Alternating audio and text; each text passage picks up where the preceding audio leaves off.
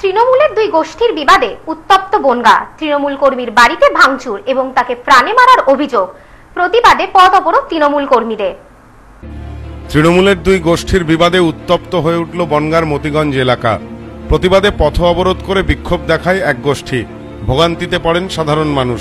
বিষয়টি নিয়ে কটাক্ষ করেছে বিজেপি।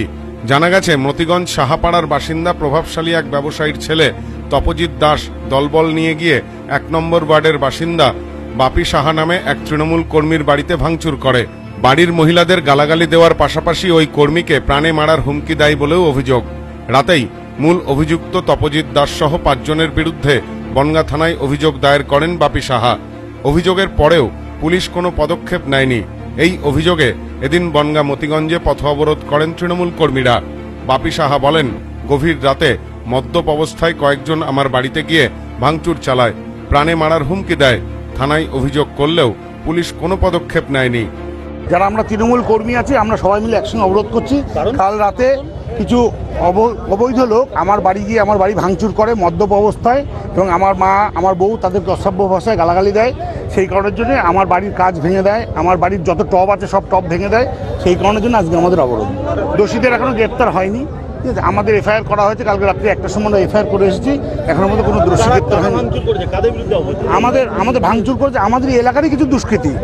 তাদের নামে আমরা বাই নেম দিয়ে আমরা তাদের দুষ্কৃতীদের আমরা এফআইআর করে এসেছি এখনও পর্যন্ত কেউ গ্রেপ্তার হয়নি। এবং আমাকে হ্যাঁ আমাকে আমাকে মেরে দেবে ঠিক আছে গুলি করে মেরে ফেলবে। আমাদের তৃণমূল কোনোদিনও শেখায়নি যে কারোর সঙ্গে গন্ডগোল করো মারামারি করো। আমাদের ঊর্ধ্বতন কর্তৃপক্ষ বলেছে তোমরা থানায় গিয়ে এফআইআর করো তোমরা শান্তিপূর্ণভাবে অবরোধ করো। এ বিষয়ে প্রাক্তন চেয়ারম্যান শঙ্করাঢ্য বলেন, ব্যবসায়ীর ছেলে দলবল নিয়ে গিয়ে আমাদের কর্মীর ওপর আক্রমণ করেছে। আমরা থানায় অভিযোগ জানিয়েছি, পুলিশ ব্যবস্থা না নিলে আমরা পথে নেমে বিক্ষোভ দেখাবো। মানে অ্যাক্টিভ কর্মী এবং কর্মী শুধু না, সেই সঙ্গে সঙ্গে বিভিন্ন সমাজসেবামূলক কাজে থাকেন আমাদের বাপিসা তার বাড়িতে রাত্রিবেলায় কুখ্যাত জমি মাফিয়া এই ওয়ার্ডে আছে।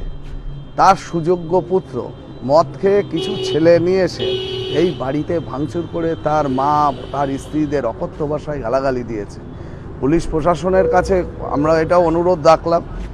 যদি মনে করে থাকে যে আমরা হাতে চুরি হাতে চুরি পড়ে আছি, তো এটা ভুল।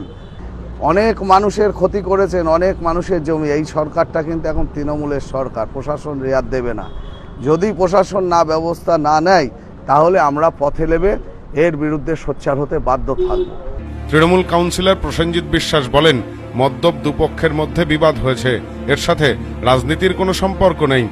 দুপক্ষই বিসর্জনের পরে অতি উৎসাহী এরা লোক, মদ খেয়ে মাতলামো করছিল, তার ফলে যা কিছু ঘটনা ঘটেছে।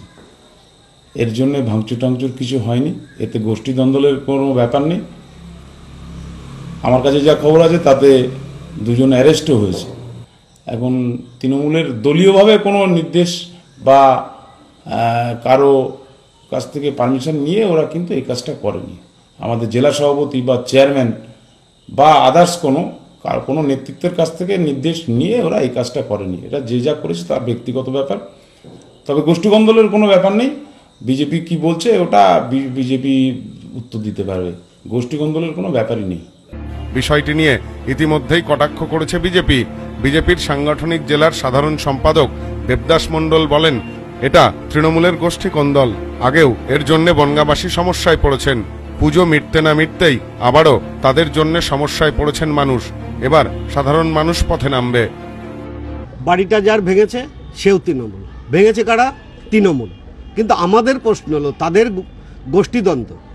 ভাঙছে তৃণমূল, অবরোধ করছে তৃণমূল, আর হয়রানি হচ্ছে কে? সাধারণ মানুষ।